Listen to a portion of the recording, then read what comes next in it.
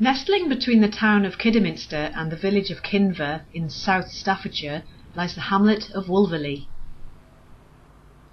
And it's here I'd like to show you a small but beautiful stretch of water, the River Stour, which is proving after many years to be a real gem for its local anglers.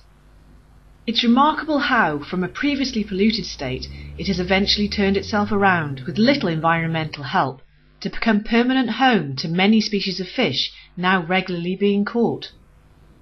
Most common coarse fish can be found here, with some excellent specimens taken throughout the year, many exceeding three kilos and above, and trout are also present, often rising to the fly, particularly during the summer evenings. The river has an excellent variation of water, with the deeper stretches on the bends and approach to the bridge holding chub and barbel, and the faster shallower flow towards the car park sporting dace and roach. Perch can also be found where the tributaries make their entrance.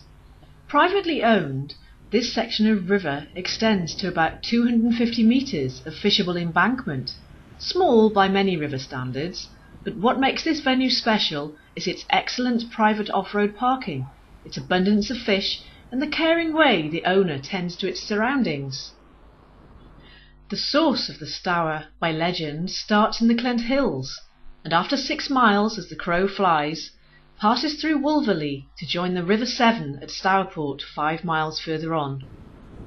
However, the Stour's entire journey covers a remarkable 30 miles as it meanders through the Black Country areas of Halesowen, Cradley and Stourbridge, which caused its pollution during the industrial age, and on towards Kinver, Wolverley and Kidderminster, before finally reaching the point where it joins the larger River Severn just above the old power station. To visit the location, it can be found north of Kidderminster by travelling about one mile along the A449 towards Wolverhampton. Turn left at the traffic lights in the direction of Bewdley, the B4189, and continue for three quarters of a mile. The entrance is situated just after the car park to the Lock Public House, an excellent place to stop off for refreshment first. Jane Roberts on the River Stour at Wolverley, near Kidderminster, Worcestershire.